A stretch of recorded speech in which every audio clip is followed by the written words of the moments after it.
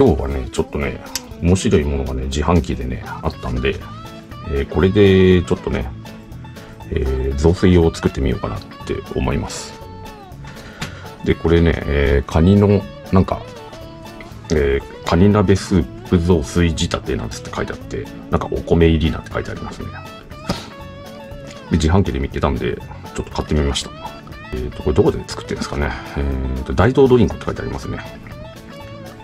まあ、これそれ風に作ったんですかね。まあ、醤油とか塩、なんか食塩とか、まあ、いろいろこう、まあ、書いてあるんですけど、なんとかエキスとかね、ななんか、昆布エキスパウダーとかね、なんかそういう風なのがね、やたらとなんか混ざってるんで、まあ本当のちゃんとしたなんかカニそのものを使ってっていうより、なんかそういうのを混ぜたやつなんですかね。ちょっとわかんないですけどね。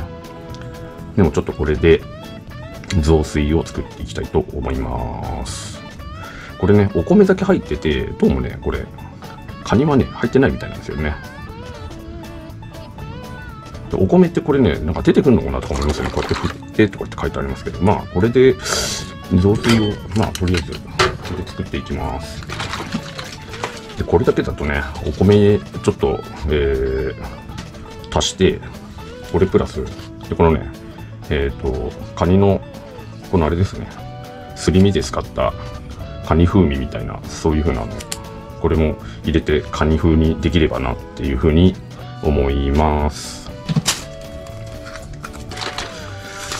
よく振って、さあ、どういうふうに出てくるんでしょうか。あ、あ米出てきてますね。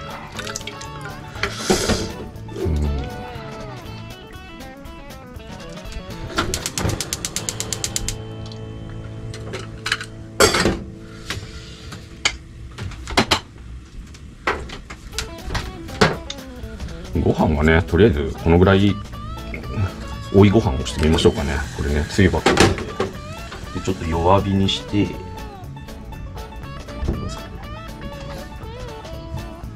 これ入れちゃいます。こ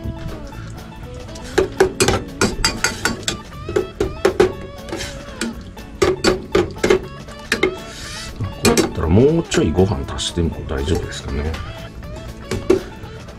このぐらいご飯そして。で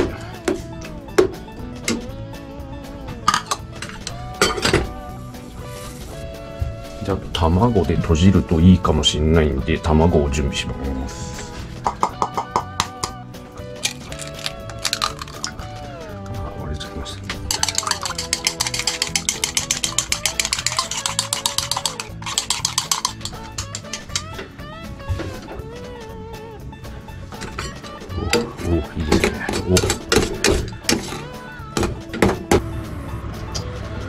水気がなくなっちゃったんでちょっと水を足して。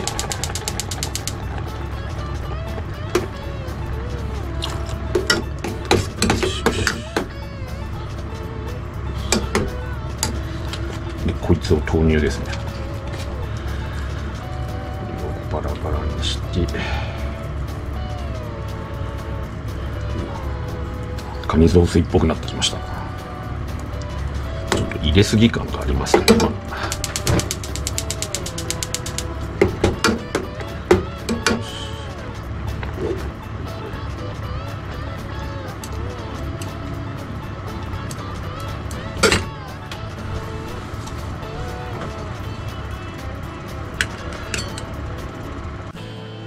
はい、どうでしょう。はい。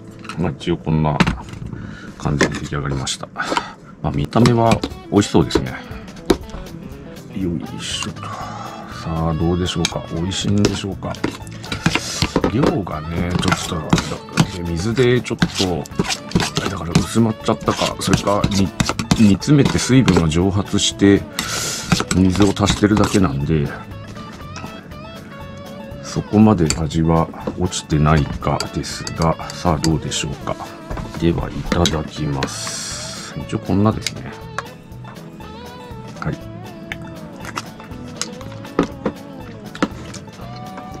あ、うん、カニっぽいですね。ちょっと卵を入れて、卵がちょっと勝っちゃってるかな。うん、でも、カニの味はしますね。すごいうまいのって言ったらすごいうまいっていうわけでもないですね。でも、まあこれはこれでいいかもしれません。このカニ風味のね、このすり身がまたいいのかもしれないですね。美味しいです。これもともと自販機でこれを買って飲むって言われるから、あまりにもしょっぱいと飲みにくくなっちゃうから、こんだけご飯を入れて、っていうと味が薄まっちゃうのかもしれないですね。ちょっと薄味かなっていう感じですが、でも薄味に慣れてる人だったら、まあこれでもね、まあ味は感じられます。で、ちょっとね、パンチがね、ないなっていう場合は、ちょろっと醤油垂らした、えっ、ー、と、まあ、塩をちょろっと入れてとかっていう風にやるといいかもしれないですね。ちょっと味変をしてみましょうか。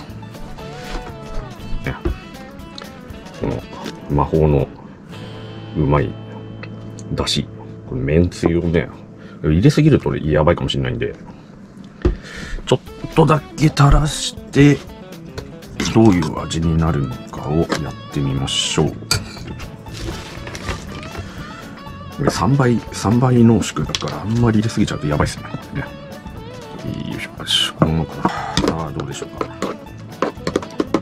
これでね、もう、めんつゆの中にうまみが入ってるから、まあ、カニだって言っといて、まあ、かつ節とか煮干しの出汁が入っちゃうんですけど、さあどうでしょうか。はい。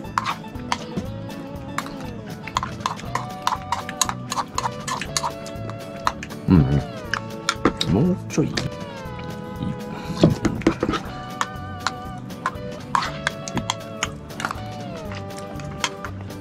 あ、この出汁が足されることによって、非常にいいですね味が。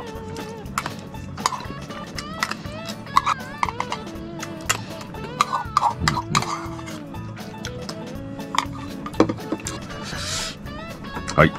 一応ね、これを使って、えー、カニ鍋スープの雑炊仕立てなんていう、これで、カニの雑炊を作ってみたんですが、まあ、ぶっちゃけね、すげえ美味しいのって言ったら、そこまででもないかなって。